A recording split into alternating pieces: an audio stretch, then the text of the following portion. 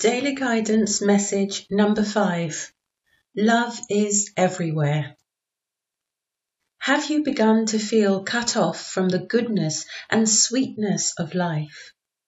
Have you forgotten that you are completely and totally loved by the divine source that gave birth to you and by a host of angelic brothers and sisters?